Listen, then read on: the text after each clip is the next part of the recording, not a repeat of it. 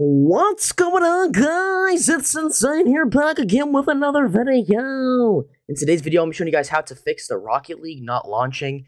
So I started having this problem. I hit launch, all right, and it just doesn't launch. All right, it just doesn't. It starts launching and it just stops. So basically, the problem is your like drive or whatever. So if I go here and I go to my settings, it's this problem right here, the cloud saves. So what? So basically, what I first did is I went to enable cloud saves. I turned this off.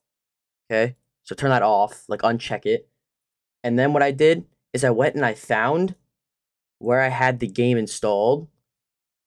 But first, you want to go to your documents tab. Okay, so go to your documents right here and find your Rocket League here.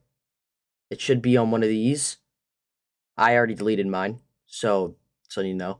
Then delete that, okay? Delete all of it. Just delete the whole thing. Then go to documents again. Delete that completely.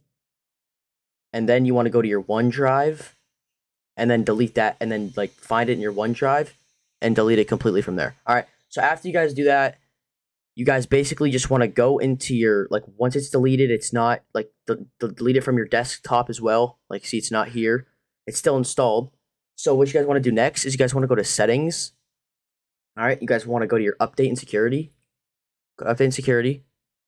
Go to Windows security right here on the left. Click that. And then go to open, or no, no, no, virus threat protection, my bad, virus threat protection. And why you have to do this is because when you go in, it's going to say that like, it like the files didn't save, like it's not able to save. So you guys want to do from here is you guys want to go to manage ransomware protection. All right, click that. Go to allow an app through controlled folder access. I want to hit yes. Okay. Hit add an allowed app. Browse all apps. All right. Go to where it's installed. So I mine's right here. Go to Rocket League. I go to my where, where is it? Binaries. Yeah, right here. Click it, and then it'll go like. Then you just click that again, and it'll go like to right here.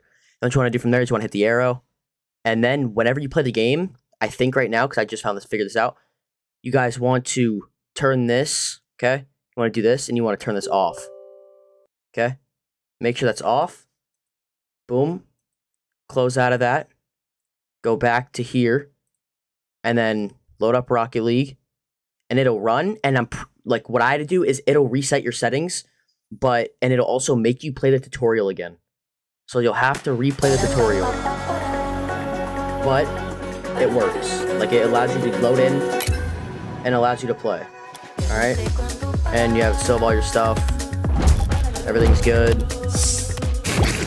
Yeah, but only thing that's different is that my settings are um, all messed up. But that's it. If this helps you guys out, leave a like, subscribe. Love you so much.